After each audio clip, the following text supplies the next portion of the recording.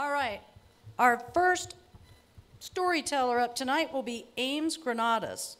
She's a writer performer who grew up in Tucson but since but spent 16 years in LA. She trained for improv at Upright Citizens Brigade and did competitive storytelling because apparently that's a thing in LA. She's a Moth Story Slam winner in her solo show Jackass, a prom story, won an Encore Producers Award at the Hollywood Fringe Festival. She lives for her two nephews and two nieces, so give a big hand here for Ames.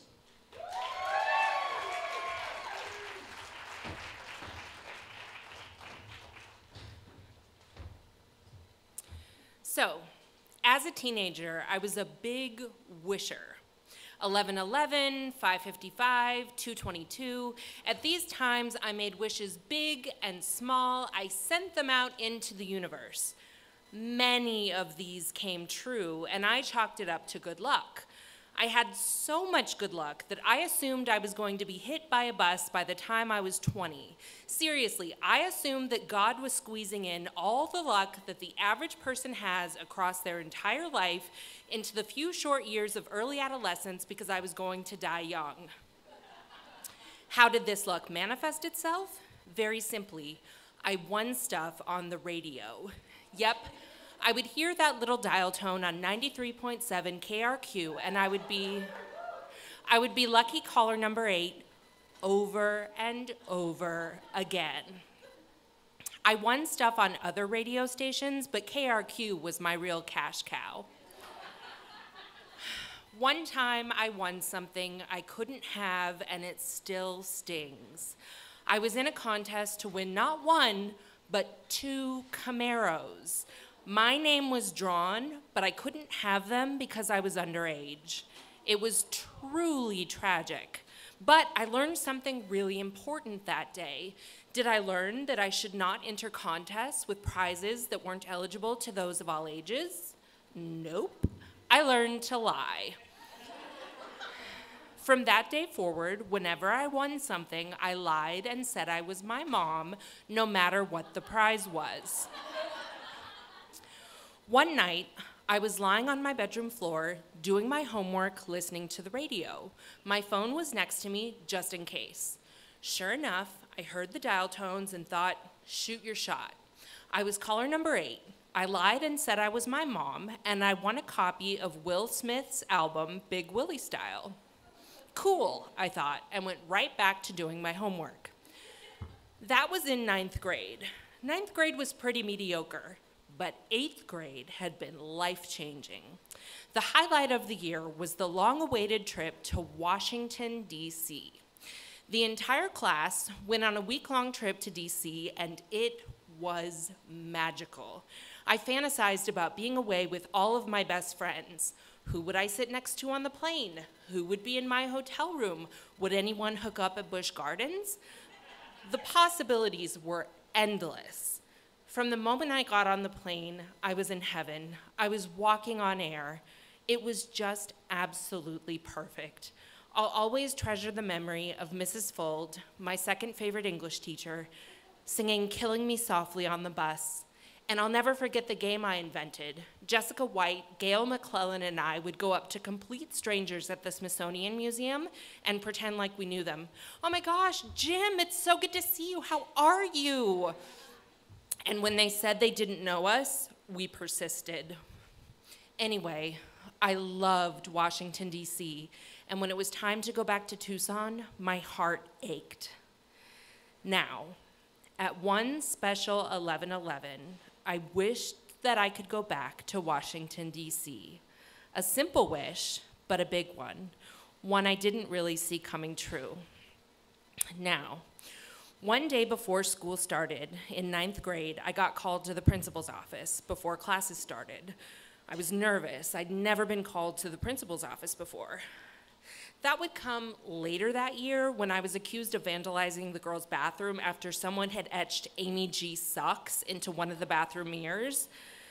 Funny note about those mirrors I was picking up my kid sister years ago at school, and um, they were renovating the girls' bathrooms, and the mirror that had my name etched into it was outside on the ground. That's me. I said, I'm Amy G. I suck. Can I have it? No, they would not let me have it. Anyway, I got called into the office. Mrs. Fold, my second favorite English teacher, was holding out the phone. Her look was somber. She looked like someone had died. Hello? I said, This is John Jay and Rich from 93.7 KRQ. You just won a trip to Washington, D.C. to meet Will Smith. How do you feel? What? I said. Let's try this again, the man said. This is John Jay and Rich from 93.7 KRQ. You just won a trip to Washington, D.C. to meet Will Smith. How do you feel? What? I said again. The man on the other line was annoyed. Your mom won a big Willie style CD a few weeks ago, and she was entered into a drawing to win a trip to Washington, D.C. to meet Will Smith and visit him on the set of the movie he's filming, Enemy of the State. We called your mom, but she was at work and honestly didn't sound excited enough. so she told us to call you. We're going to pretend to call you again, and you need to sound excited. Okay? Okay, I said. This is John Jay and Rich from 93.7 KRQ. You just won a trip to Washington, D.C. to meet Will Smith. How do you feel? Oh my gosh, I'm so excited. I can't believe it. Thank you. At least I imagine that's what I said. I don't actually remember. I was so overwhelmed with shock that the memory never got stored. And I don't remember who the DJs were, so I just went with John Jay and Rich, who are the DJs now on KRQ. All I know is that I am so glad that I lied and said I was my mom when I won that CD. If I'd given my own name, I wouldn't have been able to go. See, this is why I thought I was going to die. Because I made a wish, a big, big wish, and it came true. Now, there's something we need to address the elephant in the room Will Smith. no one saw the Oscar slap coming. However, you feel about him now, though, his popularity back in 1997 is undeniable. Independence Day had just come out, it grossed over $300 million. His album, Big Willie Style, sold over 16 million copies. The Fresh Prince of Bel Air ran for six seasons and was a huge hit. He was America's sweetheart, a real good guy at the height of his success. So we now live in a world with post slap Will. But I was getting to meet pre slap Will at the pinnacle of his career. The fact that I was getting to meet Will in Washington, D.C. made absolutely no sense. He lived in Los Angeles. It would have made sense to meet him there. He often worked in New York. It would have made sense to meet him there. Or in West Philadelphia, born and raised. On the playground is where he spent most of his days. Even West Philadelphia would have made sense. If you didn't watch 90s TV correctly, that's the intro to the Fresh Prince of Bel Air's theme song. Anyway, what are the odds that I would get to meet Will in Washington, D.C., the one place where I had wished to go? The details of the trip were mind blowing. Mom and I would be flown from Tucson to DC for a five day trip with the hotel covered. We would meet Will on the film set on the first day and then have the rest of the time to sightsee. When we got to DC, there were about 12 other winners. We were all on a bus together, led by Will's publicist. I don't remember her name, but I will never forget her voice or her tagline. Nothing went as planned that day, and she uttered the words, I'm so sorry, in her nasally whine at least 20 times. Initially, the plan had been to meet Will on the film set, observe them filming, and then get pictures with him. Due to the weather, however, they were filming interior car scenes and there wouldn't be room for us to observe. Apparently, there was no backup plan. I'm so sorry, the publicist said. And we waited and waited and waited. Eventually, they found a place suitable for us to meet Will, a place with enough room for all of the fans, enough privacy so that Will wouldn't be mobbed, and enough class to match the caliber of Will's stature. Where was this place, you ask? A Golden Corral buffet. Yep, the same place where you can pack your plate with mac and cheese and whatever they're passing off as ribs and steak was where we headed. We went into a private room closed off with those folding walls and waited and waited and waited.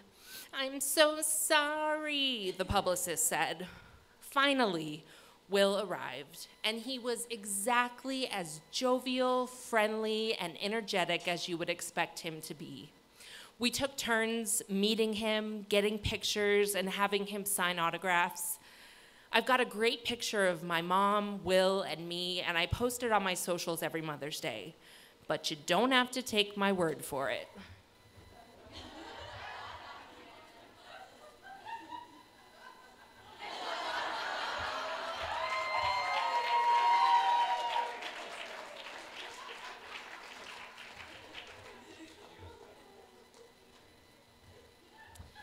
Then he was gone.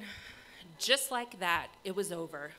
And with a few more, I'm so sorry's, we got back on the bus and headed back to our hotel.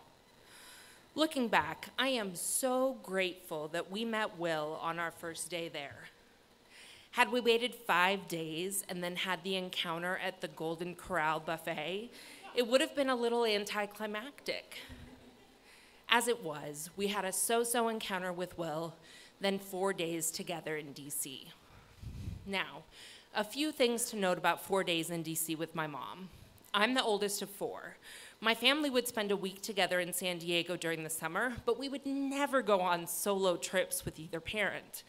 Except for that one time when my mom went on a cruise with my youngest sister Melissa's Girl Scout troop, which I'm not bitter about at all. like at all. My family motto back in those days was scoot over. There were six of us, but there was always room for more. We had aunts and cousins living with us at different times, even kids from different families. My mom was the kind of mom that would make my friends say, I wish your mom was my mom. So, wishing for four days with my mom all to myself was something I never would have thought to wish for because I wouldn't have thought it was possible. So we spent the next four days doing touristy things. We went to museums, we rode the metro. I'll give my mom some credit. I was a little moody, and I was listening to Fiona Apple's title album on repeat. but I treasured our time together. A friend of a friend is a successful DJ on the East Coast. He's taken a little bit of the magic out of the whole just be caller number eight thing for me. He said that sometimes DJs just go for whoever is sounding the most exciting. And nowadays, you have to text a keyword into nationwide contests. But if you ever get a chance to enter a real contest, a fair one, and you happen to be under the age of 18, you should absolutely lie and say you're your mom. Shoot your shot Wish big because you never know when those wishes might be granted or when you might get hit by a bus. Thank you.